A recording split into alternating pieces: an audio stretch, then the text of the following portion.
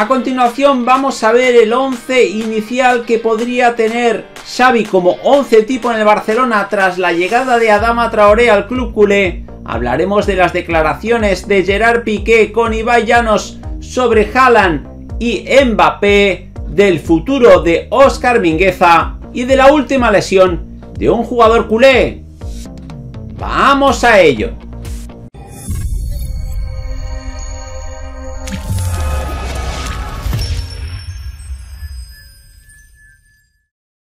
Hola de nuevo gente, ¿cómo estáis? Bienvenidos a un nuevo vídeo de Objetivo Gol. Vamos con la última hora del Barcelona y vamos a hacerlo con varias noticias. Por tanto, te animamos a que te quedes hasta el final del vídeo. Vamos sin más dilación a analizar la primera noticia. Vamos a hablar del renovado 11 que puede tener Xavi a partir de ahora en el Barcelona. El Fútbol Club Barcelona no quiere rendirse tan pronto y peleará por los dos títulos que siguen en juego, la Liga Santander y Europa League. El camino es cuesta arriba y los azulgrana llegan con mucha desventaja, pero no es imposible de superar. La ilusión se mantiene en el equipo y en el Camp Nou confían que los refuerzos que han llegado en este mercado de fichajes invernal ayuden al equipo a dar un golpe sobre la mesa y resurgir desde las cenizas. El Barça hubiese querido concretar más fichajes, pero la situación con el el fair play financiero es más que delicada, considerando que como se excede el límite salarial, el club debe generar demasiados ingresos para poder inscribir a jugadores en su plantilla.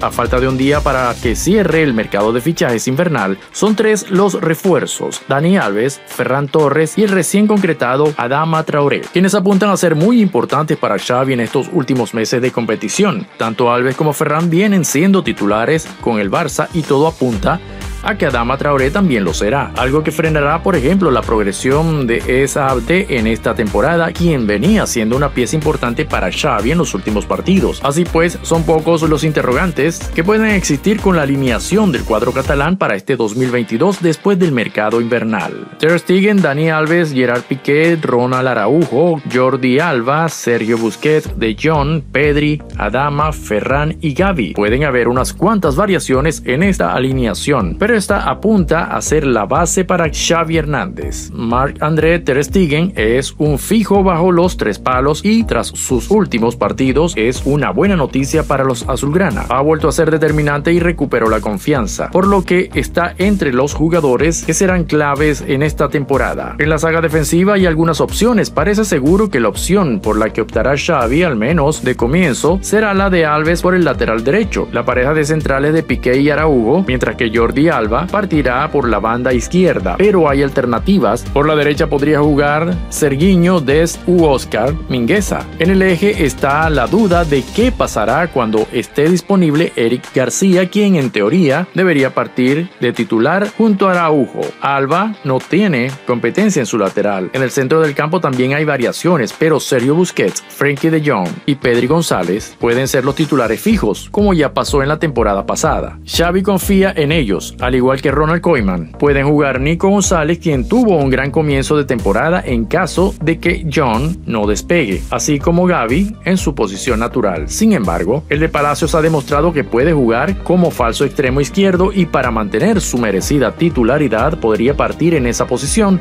donde desarrollará un rol similar al de Andrés Iniesta en sus inicios como azulgrana. Estará acompañado por Ferran Torres en el centro de la delantera, mientras que Adama Traoré partirá por la derecha. Al margen del lesionado a largo plazo Ansu Fati, Xavi tendrá opciones para rotar. Esperarán en el banquillo para tener su oportunidad en la delantera Memphis Depay cuando salga de la enfermería, Martín Bray White y Luke de Jong, así como los canteranos Ilias es Abde Ojugla. No deberían haber excusas porque hay plantilla para pelear por los títulos. Vamos a hablar ahora de las declaraciones de Gerard Piqué con Ibai y es que Central ha hablado de Haaland y de Kylian Mbappé. Ibai ya nos invitó a su canal de Twitch al defensor azulgrana Gerard Piquet. Es bien conocido que ambos son buenos amigos y tienen negocios en común, como el equipo de eSports de nombre KOI. También organizaron el famoso Mundial de Globos que se emitió por la plataforma. El capitán del Fútbol Club Barcelona analizó la actualidad del club y dejó en el aire su posible candidatura a la presidencia. Si fuese presidente haría un club más moderno, yo cambiaría muchas cosas, mandaría a todo el entorno a tomar por que son tóxicos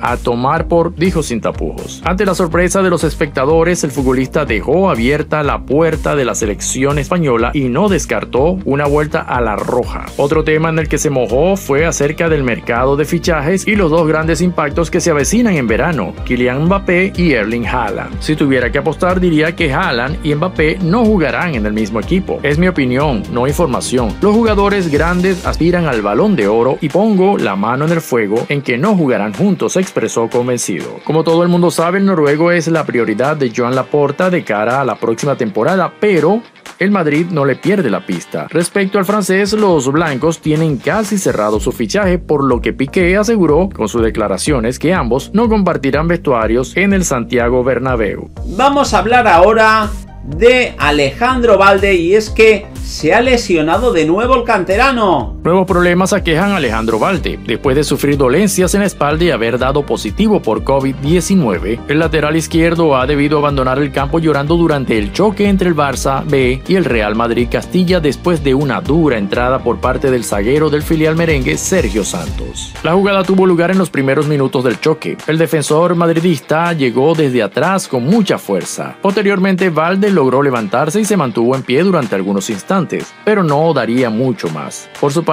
Santos, quien no recibió ningún tipo de amonestación por parte del árbitro, Iván Muñoz Pérez, le ofreció disculpas al azulgrana. En poco más de 10 minutos del compromiso, el canterano no tuvo más opción que pedir ser reemplazado por parte del entrenador azulgrana, Sergi Barjuan. El mister debió llamar a Arnau Comas, quien no había saltado al césped desde el inicio del compromiso, para acompañar en el centro de la defensa a, a Santi Ramos Mingo, en tanto que Mika Mármol ocuparía el carril izquierdo. Desde el Fútbol Club Barcelona han ofrecido algunos detalles de su lesión. Según los exámenes preliminares, se trata de una contusión en la cara anterior del tobillo derecho. Sin embargo, sostienen que el tiempo de baja estará determinado por las nuevas pruebas a las que deberá someterse en las próximas semanas para conocer el alcance. Valde, Abde y Hudla, que ya han visto acción en el primer equipo, volvieron al filial para ayudar al equipo en medio del parón de selecciones. No obstante, parece haber sido una maniobra arriesgada. Aún así, el Bará logró sacar un empate a dos goles por lado después de que los blancos se adelantaran en el marcador. Los culés empataron en el último minuto. El tanto fue de Jordi Escobar.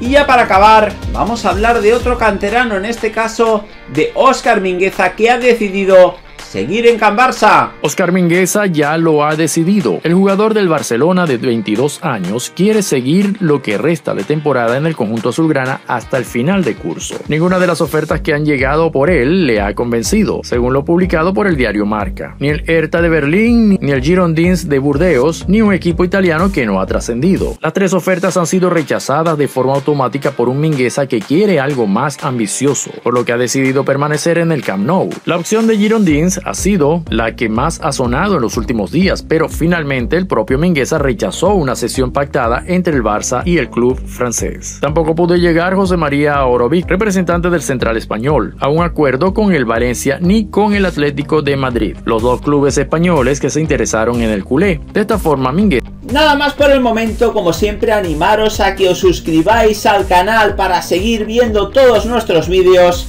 Y aquí os dejamos este vídeo más que interesante para que sigáis disfrutando de todas las noticias del fútbol. ¡Hasta la próxima!